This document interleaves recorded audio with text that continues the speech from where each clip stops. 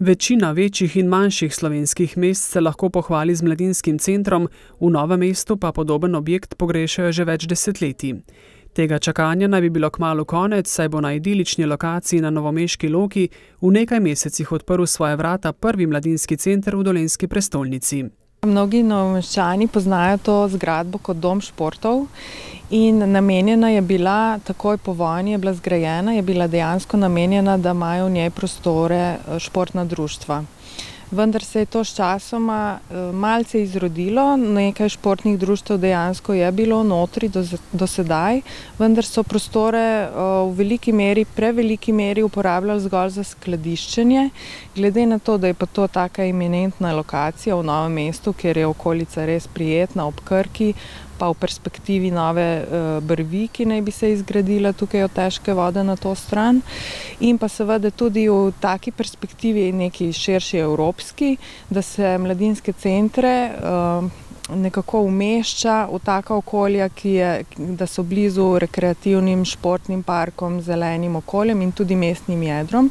Zato so se v mestni občini Novo mesto in zavodu Novo mesto odločili, da ta dom športov preuredijo v mladinski center.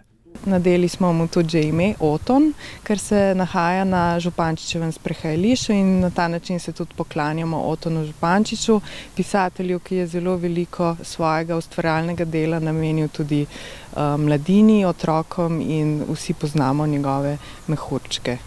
Načrti za mladinski center so že skoraj povsem dodelani. Pritličje in prvo nadstropje namenjamo mladinskemu centru, mansarda pa še vedno ostaja v najemu športnih društev, konkretneje Košarkarskega kluba Krka. Tako da smo oblikovali enotno, enoten prostor, ki bo namenjen mladini.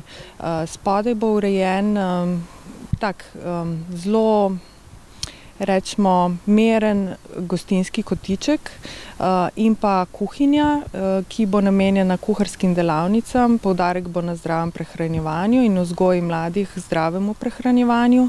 V gostinskem prostoru bodo nudili le brezalkoholno pijačo, v zgornjem nadstropju pa bodo uredili večnamenski prostor. Ki bo namenjen delavnicam in bo hkrati tudi dobro povezan s spodnjim prostorom. Spodnji prostor je mišljen kot dnevni prostor, kamor lahko prihajajo družine ali sami mladostniki, tisti, ki že smejo sami iti okrog.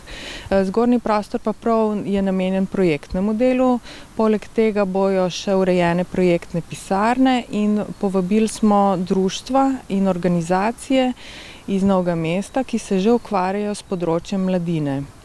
Tako da bojo tukaj zbrani v eni hiši in upamo na njihovo dobro sinergijsko prepletanje in s tem tudi nadgradnjo programov za mladino, ki jih Novo mesto že ima.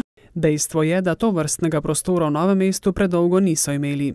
Vsako mesto potrebuje neki prostor, kamor lahko mladi pridejo z vsemi svojimi željami, z vsemi svojimi težavami v končni fazi, kjer so sprejeti, kjer so slišani, kjer so lahko usmerjeni in kjer lahko preživljajo kakovostni prosti čas.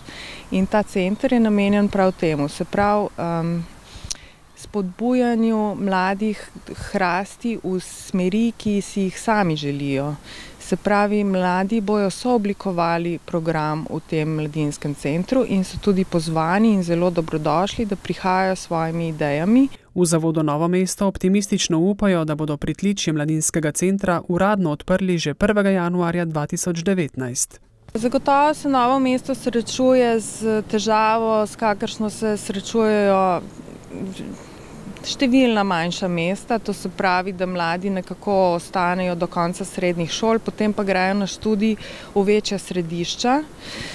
Naša želja pa je, da jim s tem mladinskim centrom pomagamo tako odkriti, kaj želijo v življenju, kakšne imajo možnosti v življenju in da se seveda v naše okolje vračajo in v našem okolju preživijo ustvarjalno obdobje svojih življenj. Pogosto v vsakdanjem pogovoru uporabimo rek: "Na mladih svet stoji." To, kar se zdaj dogaja na Loki, pa je šele prvi korak. To je zagotovo prvi korak, ni pa zadnji korak. Uh, gre bolj za začasno rešitev, kajti še vedno je želja vseh mladinskih delavcev v novem mestu in vse mladine, in verjamem, da je to medgeneracijska želja, da se v novem mestu izgradi en sodoben mladinski center, ki pokriva v bistvu več, kot bo ta začasna rešitev lahko nudila, se pravi več prostora, več programa. Predvsem pa bo to bolj medgeneracijski ali prostočasni center, kjer bi se lahko srečevala vsa društva.